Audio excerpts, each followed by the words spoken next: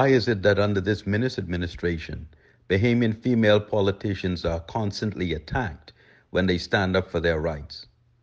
This reminds me of the prayer that Jewish rabbis, who thought that they were better than others, would recite when they said, Blessed art thou, O God, for not making me a Gentile, a slave, or a woman.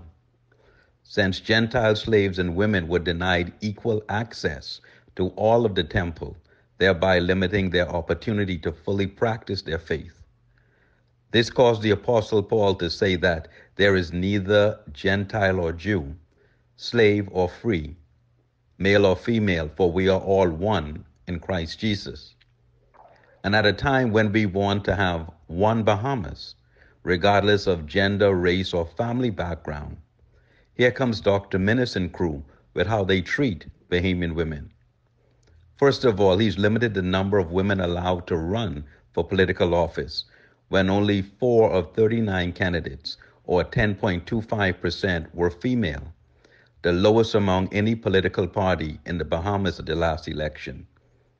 And if 10% isn't bad enough, he then further limited their opportunity when only one of 18 cabinet ministers were female although they account for over 50% of the Bahamian population.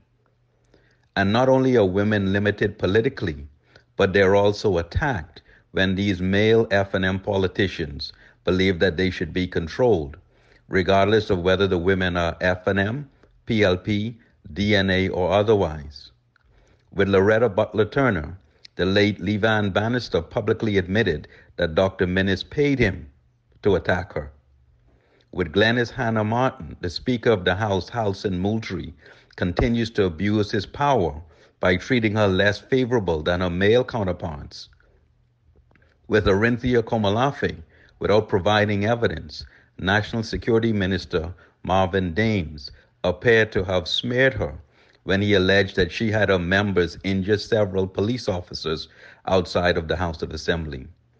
And with Maria Daxon and Pat DeVoe, a certain paid FNM social media commentator attacked Maria by referring to her as the Beast in the song Beauty and the Beast, and Pat regarding her weight.